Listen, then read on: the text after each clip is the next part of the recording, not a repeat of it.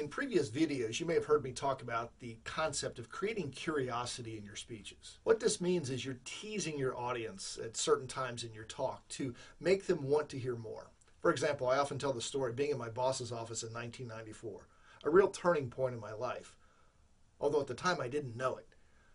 He was reading some evaluations to me and giving me some pretty harsh feedback of his own and he threatened my job if I didn't become a better presenter, if I didn't find a way to improve my presentation skills. At the time, I was just trying to save my job. I had no idea when I walked into a Toastmasters meeting in October of 1994 that that would change the course of my life. That I would not only discover the power of speaking and that it's a learnable skill, but I would embrace it. I'd have a passion for it, an absolute love, and it would eventually become my career. The way I just told that story, I didn't really create any suspense or curiosity. That's how most people present their stories. They just lay it out with the facts. A better way to tell the story is like this it was a typical Thursday afternoon in October of 1994. I was called into my boss's office, and by the expression on his face, I could tell this wasn't going to be good. As I slumped into the leather chair, I had no idea that he was about to say four words that would change the course of my life. Do you see how I created curiosity there?